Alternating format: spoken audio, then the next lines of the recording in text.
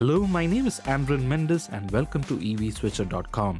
We help first time EV buyers with personalized advice on making the switch to an electric vehicle. In today's video, let's discuss the different types of chargers used to charge an electric vehicle. First, there's the home charger or granny charger as they call it, which uses a regular 3-pin domestic outlet inside your home. It typically requires a car charger with a 3-pin connector. With a 3 kilowatt output, this will take a lot of time to charge your car. In fact, my ID4 takes about 2 days to fully charge and hence the name Granny Charger. There's also the home charger which is conventionally called the wallbox charger which gives a 7 or 7.5 kilowatt output and requires a single phase electricity supply to be installed in our premises.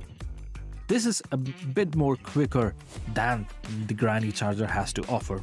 Then there's the external 22 kilowatt AC charger or the fast charger which is compatible either with the Type 1 or Type 2 cable.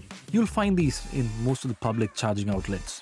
And finally, there's the super fast chargers and rapid chargers which have an output of 100 kilowatts or 150 kilowatts or even sometimes 300 kilowatts and typically used at public charging stations or private locations for fast and efficient charging. The 300 kilowatt chargers are just something new and that's coming up in most of the EU countries.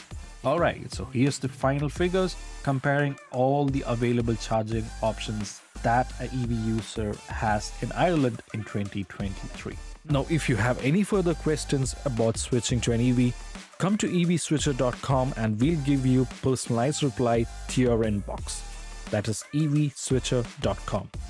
Alright folks, thanks for watching this video.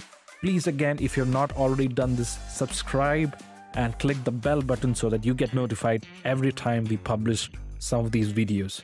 Thanks again for watching.